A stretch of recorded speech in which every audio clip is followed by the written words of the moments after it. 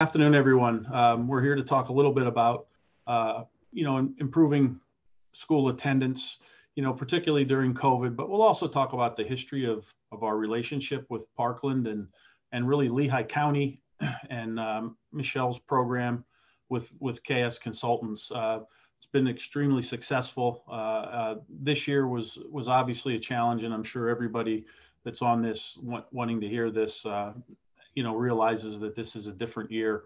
Um, and, you know, I think all of Lehigh County got out to a bit of a slow start, probably like everyone else, uh, until we managed to get students to realize that, you know, some of the requirements changed this year for attendance. And uh, so we'll talk a little bit about that. Um, but we're, we're, we're happy to answer any of your questions as this goes on. Um, you know, our, our, contact information is made available to you. Feel free that if you don't want to contact us here, you can certainly contact us via email or phone or whatever is easiest for you. We're, we're, uh, you know, we're, we have, a, a I think, a, a, very good relationship, a very good program, um, and it, and the help of children and youth. So this is a really a team effort. It's not just a Parkland effort. It's not just a KS effort. It's a children and youth effort. It's uh, something that, if you could slide to the next slide, mm-hmm. uh, Michelle. It's really part of the of the Children's Roundtable of Lehigh County. Um, you know, I, I, took over a subcommittee of the Lehigh County Children's Roundtable in around 2013, and uh, you know, at that time, you know, there was representatives from from uh, some of the school districts, not all of them in Lehigh County. Lehigh County has nine school districts, uh, a number of charter schools, um, but the major uh, public schools were, you know, nine major public schools. Uh, always represented with someone from children and youth, juvenile probation. You know, we had uh, um, many of our resource officers would be able to come when they had had the ability to. Uh, we had Lehigh County Mental Health, um, you know, and it was led by one of our really one of our judges who was assigned by the president judge, and and for quite some times it was Judge Brian Johnson, um, and you know we subsequently has had a, a, a change recently. Um, but but the reality is this this was set up to be a, a way in which we could talk about truancy. We had uh, really high numbers of, of truancy cases being sent on a regular basis to the district magistrate. Um, you know, mainly because in the suburban areas there wasn't any other really mechanism, um, you know, to you know to divert students from being truant. Uh, and and really as a result of the fact that that Parkland was you know I, I had kind of a you know being a chair uh, the opportunity to get the ear of a lot of the people downtown in, in Center City Allentown is there's a lot of services that I don't think many school people really really realized were out there to help us.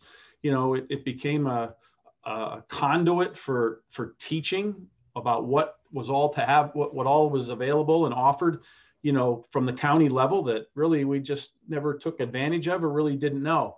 But one thing we learned is that, you know, the Allentown, the Center City Allentown had a, a truancy program, a successful truancy program.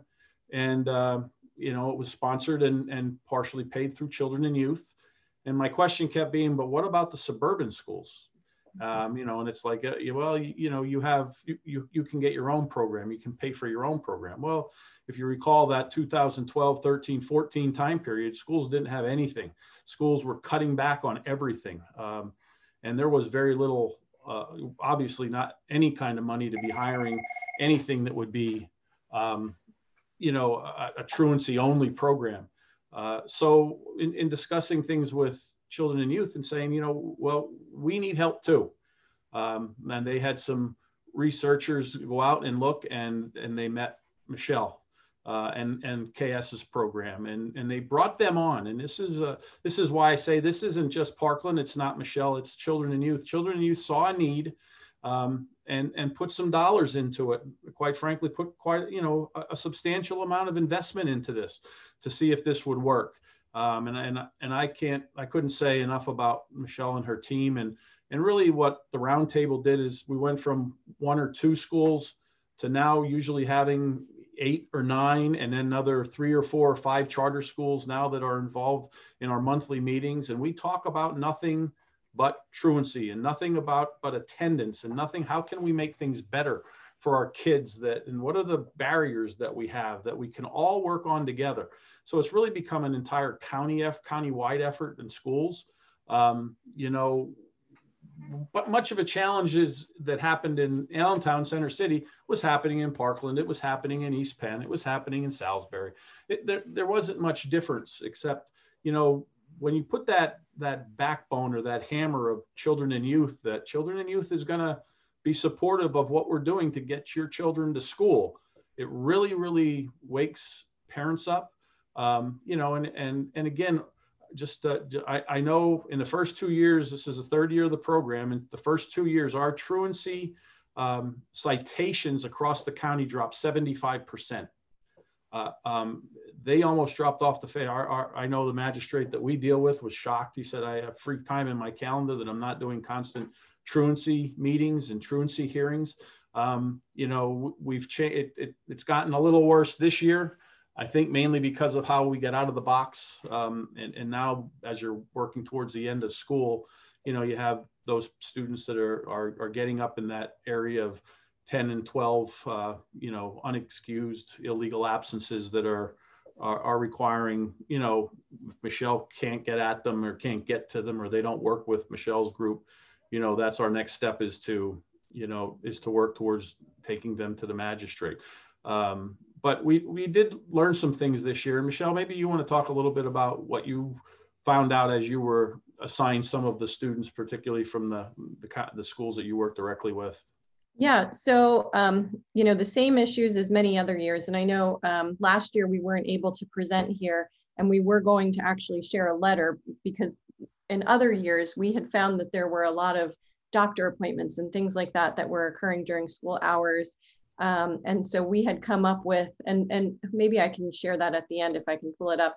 We had come up with a county-wide letter that every single district had its logo on to talk about the importance of um, trying to schedule these doctor appointments and such um, after school. It, we were sending that out to pediatricians and to um, dentists and, uh, you know, for braces, what's orthodontics. Orthodontists yes to orthodontists so we kind of worked together and came up with that great letter. I know that was a big thing that we were going to share last year but of course we weren't able to present because everything was um, postponed. But um, this year obviously we are still seeing those same issues uh, but this year we're seeing very different things too. So last year i know everyone was kind of thrown into this oh my gosh we're in a pandemic. What do we do? We're scrambling you know, some people didn't have the technology to go online. Um, you know, we and and a lot of schools scrambled, and so I I don't think that truancy was number one on everyone's mind. I mean, obviously, we were trying to get the kids in, in um, doing their schoolwork and stuff, but it was just very difficult. So then, you know, I was really it was really great to see that when kids went back in the fall, um, that all the schools here really were doing a pretty great job. Uh, so part of what we saw when we were getting out there and going into homes is that um, parents believe that their children were logging on, uh, or at least that's what they were presenting to us when we would get out there. So we would get a truancy referral and I'd go out to the home and we'd do the intake and they're like, well, they're logging on, they're doing it. And I said, okay, well, can you show me their their progress or how, how many hours or what they've done? They would log in in the morning, show the parents that they logged on mom's online doing her work because she's working, dad is out. Um, and here the student logs on for the morning and then is playing video games or on FaceTime or Instagram for the rest of the day and, uh, and really not participating as they should. So we're finding that even though parents are seeing their student in front of the laptop and they keep 100 pages open, so they're clicking from one thing to the next. Um, when the parent walks by to check on them, they're quick bringing up their schoolwork, but in reality, they're doing something else instead for most of the day. Um, we we had a lot of technology issues where um, you know parents were saying that they so the schools were providing them technology. You know they had the Chromebooks, uh, but they did not have good Wi-Fi. Or some of our areas are um, you know they don't really have high-speed internet, so that has become an issue for some of our families. Um, a lot of schools are providing hotspots and things like that to help students with this. Um, other things are they're just not home. Parents aren't home. They're they're off at work, and the students are there um, during the day. And this is this is especially for the for the students who are fully virtual um, and on the hybrid days. So when they're at home, they're they're just not getting things done.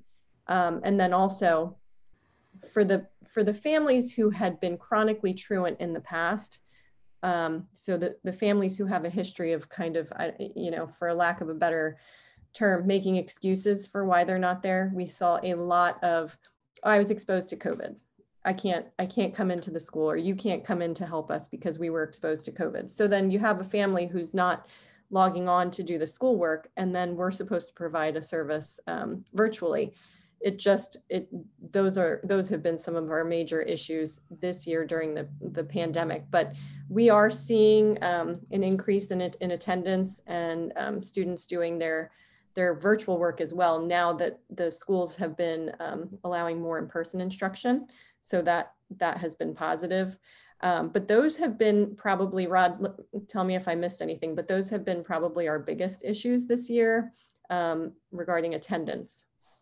Yeah, yes, no, no, no doubt about it. Um, again, like get, getting started out of the box, you tried to communicate to parents and and let them know that attendance is more than just turning on your laptop, as Michelle said, and then going and and going into all other things you know you needed to to be engaged you need somehow to show your engagement whether it be you know working on the assignment that was assigned during class or an exit ticket or something that showed that hey i was here from the beginning and i could answer the question at the end. I wasn't you know sitting and doing things that i shouldn't have been doing. Um, parents couldn't couldn't understand that that if they didn't put those two things together a student wasn't attending. Um, you know that you needed both of those pieces that we followed the pd guidance and uh, and and they, they said, well, you know, but he's on, he's on, as Michelle said, and that was what we heard through really the first uh, month or so, month and a half maybe of, well, but he is on, but he did log on. I saw him get on, I saw him, and and they did, they did. the The problem was the child didn't do anything.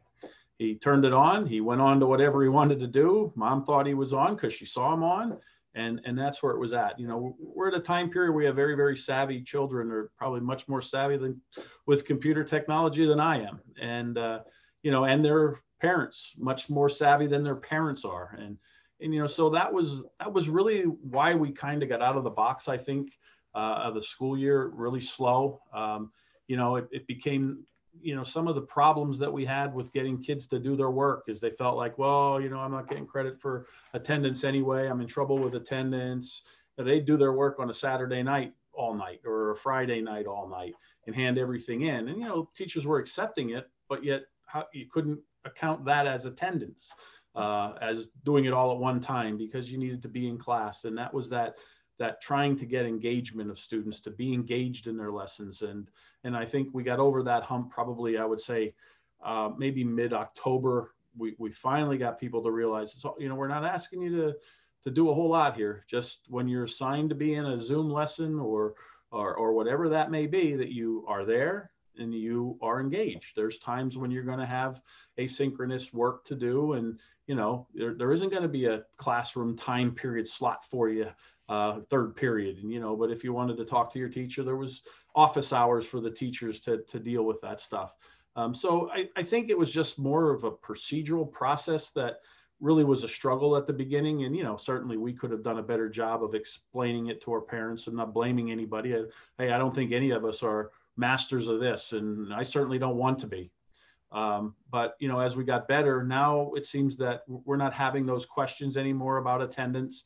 Um, those that were not attending all year are still struggling to get attendance. And, you know, yes, our, our numbers have, have gone up, um, you know, not, not tremendously, but they've gone up much higher in terms of our, our, our magistri- magisterial uh, hearings that, that we had to take students to. Uh, and, and, even when we go to the magistrate, our goal is never to take anyone's money. It's not about fining parents or anything. It's about getting kids in school. So, you know, some of the things that we talk about for for kids, uh, you know, is, you know, some of it's a parenting thing. Some of it's really parents just don't know how to deal with, you know, their their, you know, fifth or sixth grader who doesn't want to go to school, just doesn't go to school, and you know, so we'll offer to the, Michelle's group organization has some parenting programs. Uh, you know, um, the Center for Humanistic Change in our area also has parenting programs to get them to understand the importance of of a routine in the morning. And Michelle can talk a little bit about what what what her program does, but really to get kids ready to come to school. Some of it's really just just there's no preparation in the morning. There's no routine.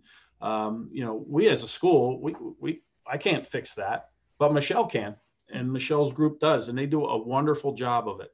Um, you know, knowing that that they're there to go out and do the legwork of you know our homeschool visitors will stop in but you know they'll see what's going on. But again it it's not something that the school can fix um, you know and and michelle's program is integral in that. And maybe you want to speak a little bit more about that michelle. Sure. Um, yeah i'll just go through so i mean i think probably most of the people here understand the responsibility um, you know as a school for truant children um, so i'll just move on to the KS consultant stuff and what we how we partner with the schools in the county. Um, so we actually started this. I mean, not that truancy hasn't always been an issue, but I've be, I've begun to hear more truancy. Um, I would say in the last five years, but we've been doing this since 2008. Um, so what happens is um, like the process of this, and I, I see some familiar names that are in attendance here. So um, basically the school will identify a student who's who's truant. And and some schools act on this at, at different time periods. But where we see uh, that a really great time for the referral is um, before that 10 day mark uh, that's the ideal time for us to receive the referral. So basically then the school must complete the SAIP uh, and and they have to give that a bit of time to work the the, the county just needs it to be completed in order to be able to fund it. And the county funds it with diversionary dollars. So basically what's happening is children and youth is not opening the case. They are, we get the referral. So KS gets the referral and um, we send it to, to children and youth and they basically say, okay, there's no other evident um, child welfare issues at this time. It's, it's truancy. And so they put us in and they pay for our services. So the process then is that myself or like three other people who are employees here in Lehigh, uh, Lehigh County, we would go out, do an intake. We gather all the background information on the student and the family as well. Um, sometimes we find being probably the first people who have ever been to that home as a provider, we find that sometimes there's other really major issues going on, and then we end up having to refer to a more intensive service or program um, or children and youth then does become involved. But let's say that they don't and it is appropriate and it's you know mostly a truancy issue. Um, we've come to understand that truancy is more a symptom of, of other issues. Um, it, it's usually, I remember when we first got started, I felt like it was going to be kids playing hooky. It, it's not just that. There's there's a lot of mental health involved. Um, there's you know there's housing issues. There's drug and alcohol um, there's a lot of things going on with these kids and their families as to why they're not um, attending school regularly. And that's with the pandemic or without the pandemic. Um, so, you know, we get involved and we figure out kind of what's going on. We come up with a treatment plan and then we come up with our treatment team. Um, so we, we don't just get releases signed for the school, uh, we get releases signed for any other therapist that the child might be working with. We get um, releases signed for if the parents working with mental health or drug and alcohol, we get releases for them as well. And um, we also would get any releases for um, like if they're if they're involved like any other adults who might be involved in that child's life um, and then so basically we start there we have what's called the family service coordinator which is essentially a family therapist um, and that person goes out to the home um, roughly one to two times per week. And they'll work on figuring out what's going on, as Rod mentioned. Sometimes it's the AM PM routine. Sometimes there's no um, structure in the home. Sometimes we're going in there and helping these parents to come up with just general rules and and rewards, consequences for kids. Um, you know, sometimes it's really basic things like you know where we find that the AM PM routine is is really the biggest deal. And we get there and mom thinks that the kid's going to bed at 10 when she puts them to bed but really he's got a tv in his room and he's playing video games all night long. And that's why he doesn't want to wake up in the morning. So it's not it's not a cookie cutter program. And I, I say this to every family probably when i go out to do the intake. I can't just give you a sheet and say, this is A to Z exactly what we're going to do because every family is so different and all of their their issues um, vary significantly. So we really come in there and we we really try to understand what's going on with each family individually, and then we develop that treatment plan around that family. Um, so the goal, obviously, is to get that student attending regularly and increase their not only attendance but their academic achievement as well. Um, so I kind of say to families, we come in and we kind of take over in the beginning. Uh, we do a lot of it, and then we're modeling for the parents as well. And then um, as as the program, you know, as we move further on in the program, we tend to back off a little bit and allow the family to do more while we observe. And um, and then as we're kind of in sustainability, we don't just say, "Oh, great, Johnny made it to school for seven days straight. We're done. We're closed." We this is our our period of time that we call sustainability period where we're going to stay around and just understand that Johnny may have two steps forward and then one or two back. So we we stick around for a while longer just to make sure that it's sustained improvement, not that as soon as KS closes out that okay, then it's going to go back to where we were square one. Um, so we might stay involved for another month at a lower level, um, more on that sustainability like observation period. Um, and then just to ensure that it's going to be long-term success. I think I probably chatted too long. And so, yeah, so this is, this is some of the things that we provide.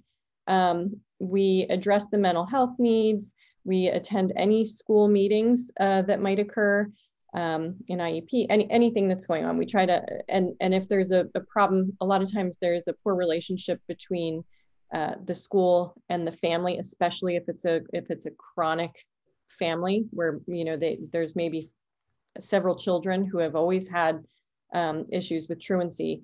And uh, so we kind of try to bridge that gap between the school and the, and the family.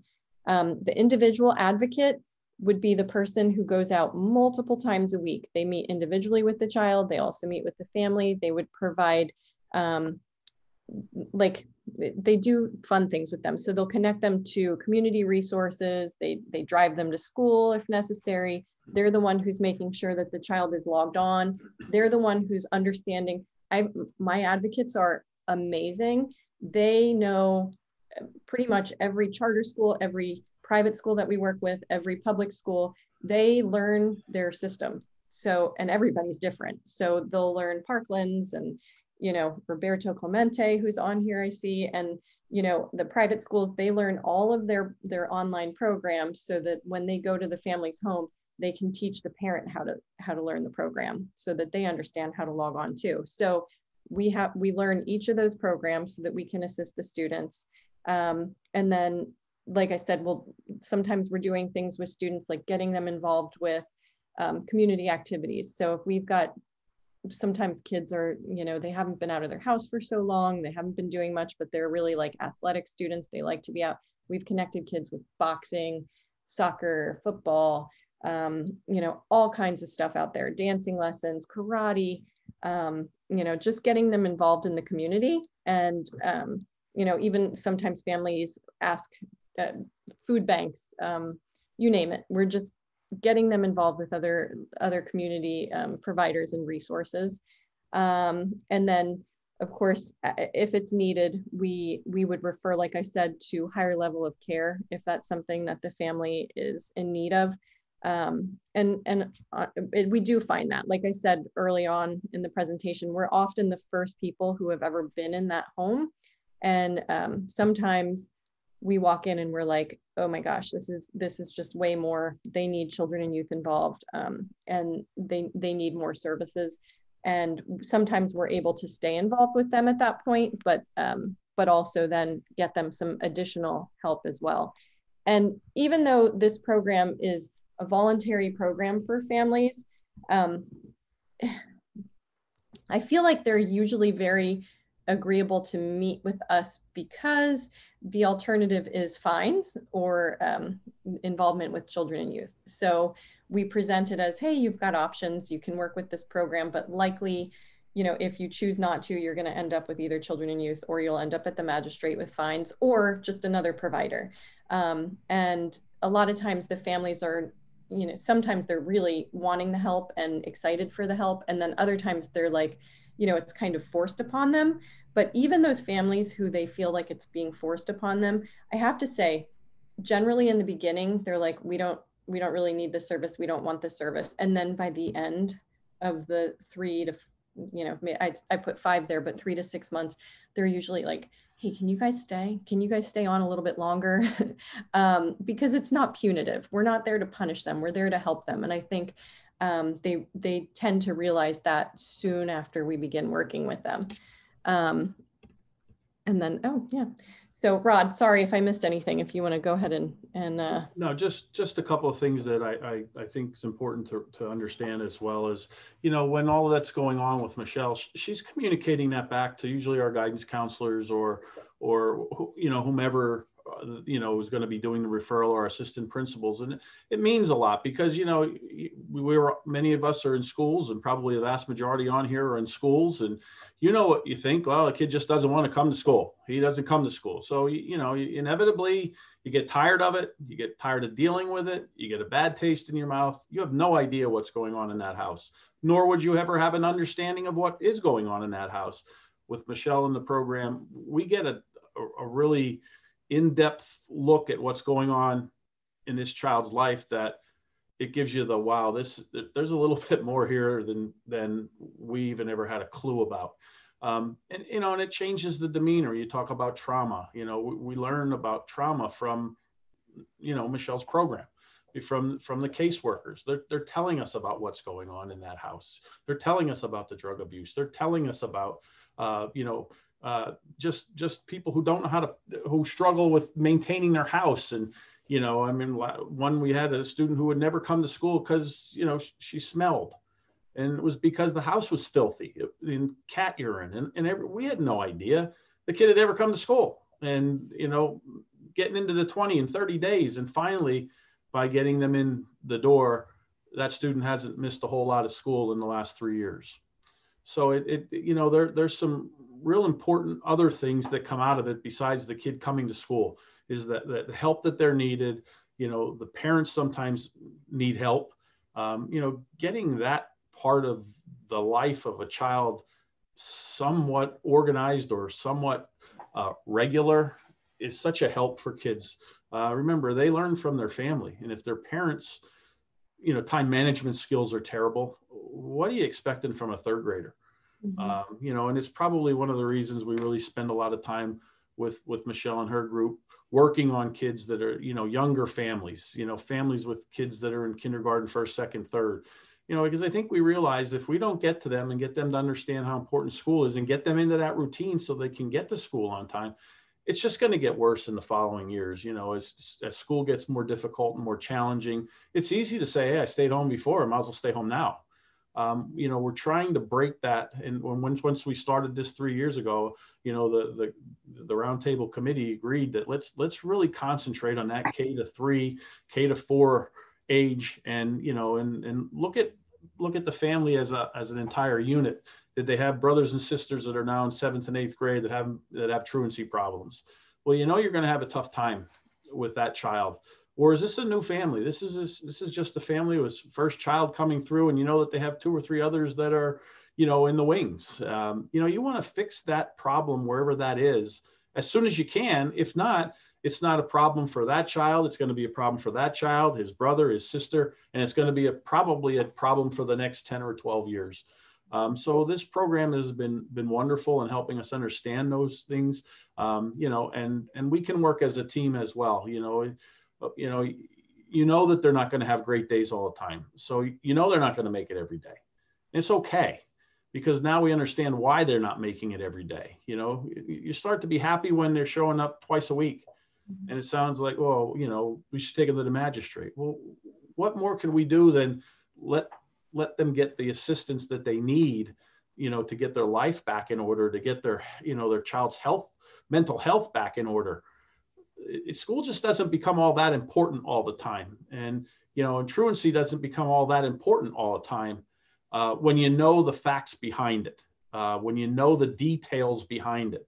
Uh, you know, and, and, uh, you know, this is, I've been doing this for 34 years and I've never run into a program where, we all work together um, as a county, you know, as a, as a, you know, the county organizations all, all want to do what's right. And I think that's always been that way, but it was so segmented, you know, mental health did their thing, you know, in an, on their own islands. And if you didn't perchance run into some agency through children and youth getting assigned to that, you had no idea what they could offer you.